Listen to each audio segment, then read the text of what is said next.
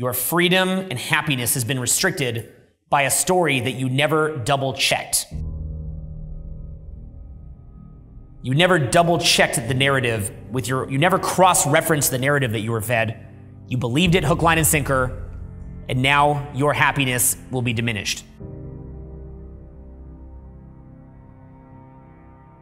People in general do not want their belief systems to be challenged. They want to hear things that pump them up. They don't want to be consistently challenged. So the reason why people, what people often do is they use groupthink in order to save themselves mental energy, and then they parrot back the opinions of the herd because they think that that gets them approval and safety. Literally, the mental prisons that you're initially fed that stifle you down, and then now you are the jailer. You are your own worst enemy. These guys that are like, I don't agree, it's ever good, good, ghosts are the best.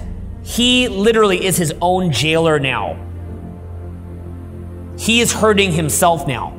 It's so crazy. Most people, however, have a very groupthink strategy. The problem with a groupthink strategy is that you have the sheep and the wolves. The wolves eat the sheep. Everybody is willing to pay to be told what to think and what to do. Basically, the wolves are people that are not mentally lazy. If you want to be a wolf in life, you have to be okay with a high degree of uncertainty, ambiguity,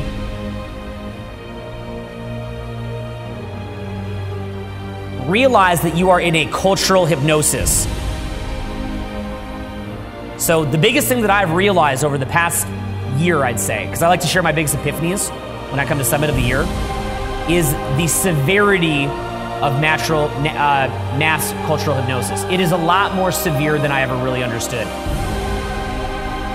We're all influenced by our social environment. We are not isolated little fucking islands. We are permeable membranes so, what I realized over time, you have to be very controlling of what you choose to let into your headspace. Okay? Massively controlling. You have to be aware of what's getting in. Don't let in shit that you have thought through and that you don't want to let in. Okay? So, if you want to move ahead in the world, you have to really pull yourself out of easy thinking. Don't look for the easy truths. Some truths are easy. Keep things simple, but never simpler than they actually are.